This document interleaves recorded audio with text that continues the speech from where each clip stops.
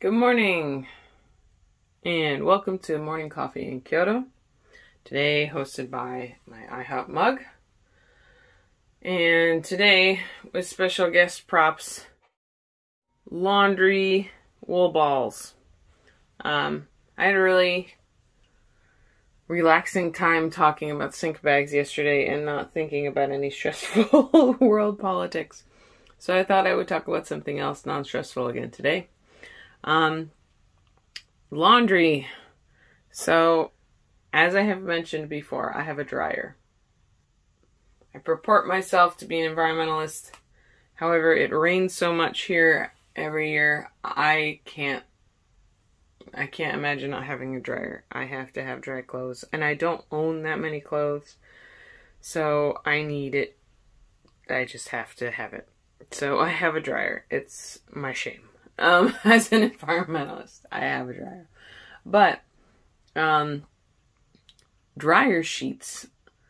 So dryer sheets um, are great if you want to continually have to buy something. It does make your laundry smell a little nice. Um, but then you have to continually buy something. It puts another chemical coat on your clothes, and then you have to throw it away. Um, or you can get these little guys. So these little guys you can get online, or you can um, purchase at some other specialty stores, but it's really easy to get them online.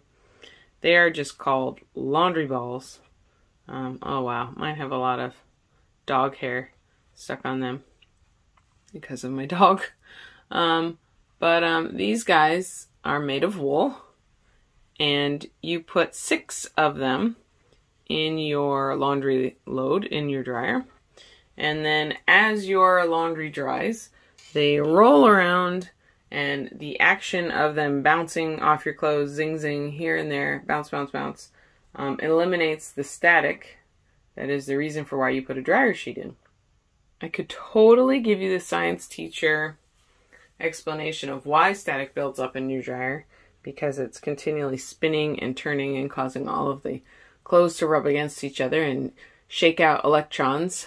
Um, and electricity is just the flow of electrons, remember?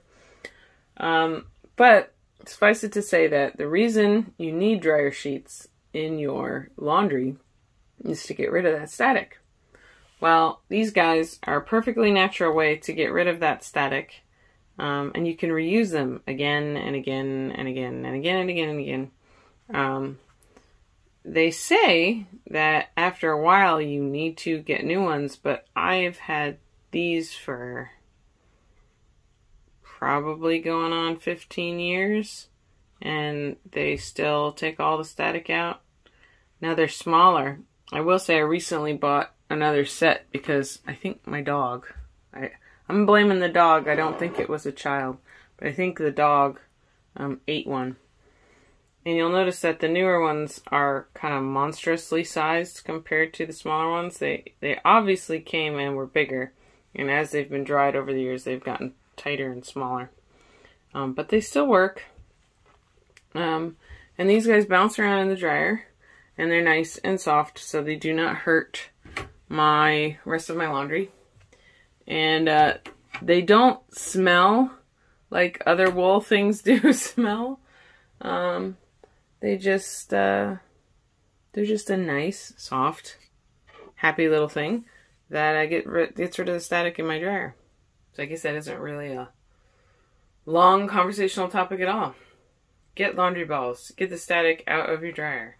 The dryer sheets here in Japan are harder to find and there's less variety because very few people have dryers. So I initially got these because I thought it would be hard to find dryer sheets really readily. But as the years have gone by, more and more people are getting dryers, I have discovered. So um, the dryer sheets are becoming more common at the supermarket. But um, have my six dryer balls and I don't ever have to buy any dryer sheets ever again. So it's worth it to me. Also, I'm I'm really cheap. Like I can't help but find if I can find something like this where I can buy it once and then I never have to buy anything else ever again, except for when my dog eats them. But yes, I would much rather just buy something and then not have to re-buy stuff all the time. I have to think of some other little things that I use here around the house. I know I talked about sink bags yesterday. I'll talk about the dryer balls today, laundry balls. Um, there's lots of other little things you can use around your house, especially here in Japan, because you have to save money because there's other things that are more expensive. And you have to try and be environmentally friendly. Guess you don't have to, but it just seems wrong to not try and be environmentally friendly these days. No, I'm going to get off on a topic that's going to depress me. Um, so yes, if you're going to be here long term, or if you're, you know, I, I want to say, you can use these in any country. You can find them online, probably find them on Amazon in any country. Just Google, just Google. Just search for dryer balls or wool, laundry, ball, static, you know, all those keywords, and you'll find them for sale. Um, they work in any type of dryer in any country. I feel like um, a really powerful American dryer might make them get smaller sooner. But um, yeah, it's not something that's exclusive to Japan.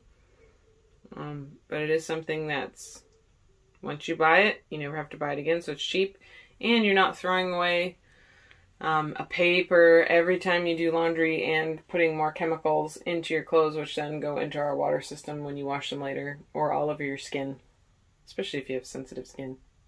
All right, I have drug that out as long as I possibly can, and I'm done with my coffee. So I'm going to say have a good day, and I will talk with you later. Have a good one. Bye. Man. My brain is not completely awake in the morning. I